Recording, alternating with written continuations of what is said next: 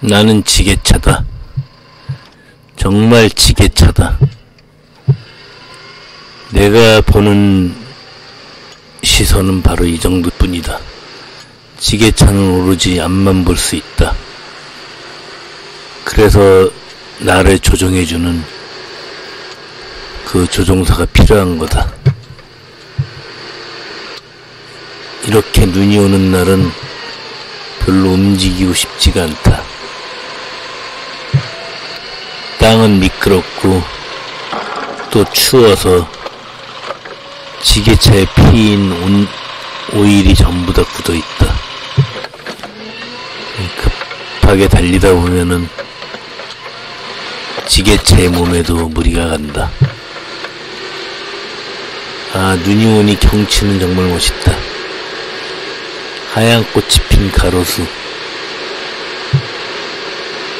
다른 나라에 온 느낌이 든다.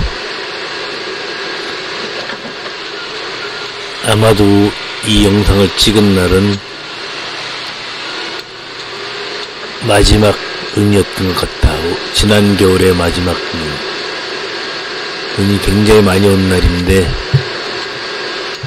장, 왜 녹아 있을까? 바로 염화칼슘을 뿌렸기 때문이다.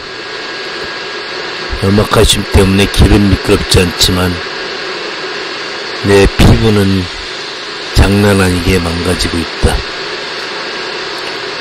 그러나 우리 지게차는 세차할 곳도 마땅치가 않다. 자동차 같은 경우 주유소에서 기름을 넣고 하부 세차를 하면 되는데 우리 지게차는 그렇게 자동 세차할 수 있는 곳이 없다. 그럼 어떻게 해야 되냐? 이 상태로 장마철까지 버텨야 되겠지. 장마철 물이 많이 고여있는 웅덩이를 세게 달려가면은 그때서야 영악하심 씻기지 않을까 생각이 든다. 그러나 또 물이 많이 튀게 되면은 수분 감지 센서가 작동을 해서 이 몸에 피가 돌지 않는다. 그러면 또 지게차가 빨리 달리지 못하게 된다. 그냥 염악하심을 몸에 묻힌 채 살아가는 수밖에 없다. 그래서 이렇게 눈이 오는 날은 차라리 가만히 안 움직이는 게 더 도움이 될 것 같긴 하지만 그래도 지게차라는 지게차로 태어난 이상 물불을 가릴 수는 없지 않은가. 나를 움직이는 사람이 움직이는 대로 눈이 오나 비가 오나 움직일 수밖에 없다.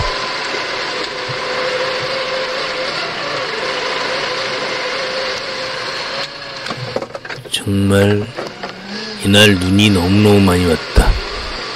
몇 센치인지는 모르겠지만 어딘가 일을 하러 갔다가 눈이 많이 와갖고 지게차가 미끄러져서 결국은 다른 지게차의 도움을 받고 탈출한 적이 있다. 그나마 큰 도로는 달리만 하지. 작은 곳 이면 도로로 접어들면은 눈이 쌓여 있다.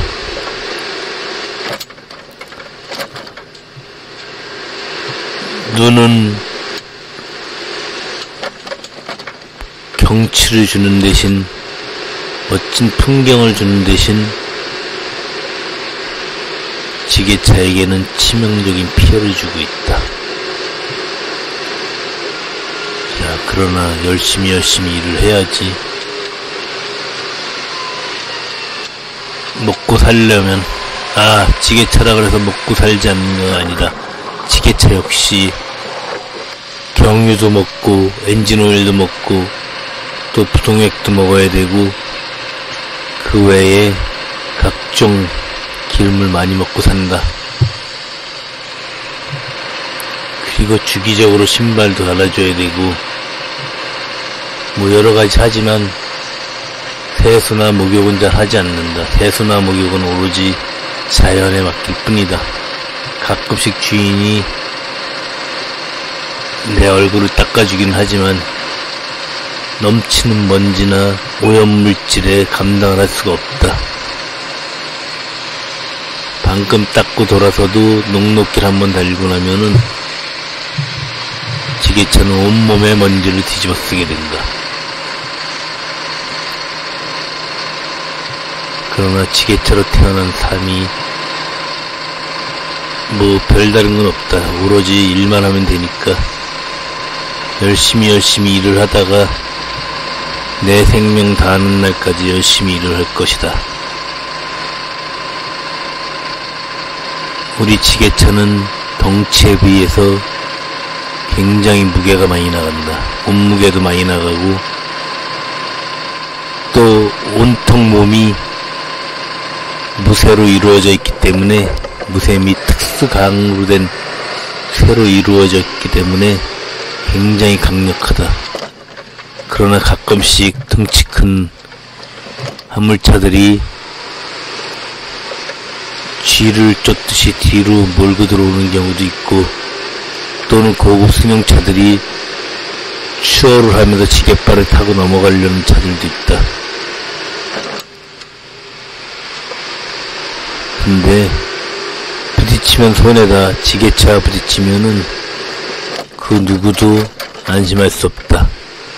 물론 지게차까지도 피해를 볼 수 있겠지만 더 큰 피해를 보는 것은 다른 승용차들이다. 물론 덩치 큰 화물차나 버스에 부딪히게 되면은 지게차도 큰 피해를 볼 수 있긴 하지만 그래도 워낙 단단한 무쇠덩어리이기 때문에 지게차를 너무 느리게 간다고 해서 또는 덩치가 작다고 해서 무시하면 안 될 것이다. 지게차는 달리는 무기이다. 우리들의 저 지게발은 면도칼처럼 날카로워서 웬만한 자동차 철판은 칼날처럼 찢어 놓을 수가 있다.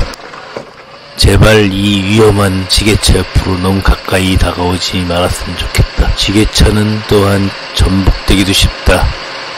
무거운 물건을 들고 또는 급하게 회전하게 되면 미끄러지면서 넘어질 수가 있기 때문에 지게차는 너무 빨리 달려서도 안 된다. 물론 최고로 달려봤자 27km 밖에 나지 않는 속도지만 지게차한테는 엄청 빠른 속도다. 그렇게 달리다가 요철을 만나게 되면은 몸이 공중으로 뜰 정도니까 지게차는 살살 달려야 된다. 어떤 도로를 가든지 절대로 빨리 달려서는 안 된다. 어쨌든 오늘은 우리 지게차가 그냥 지게차의 눈에서 지게차의 입장으로 이 세상을 바라보며 나 지게차가 그냥 푸념을 했을 뿐이다. 자, 올겨울도 이렇게 지났다. 이젠 따뜻한 날만 남았고 좋은 날만 남았다. 앞으로 이제 꽃길만 걷자. 벌써 꽃피는 4월이 시작됐다. 자, 모두들 안녕히 계세요.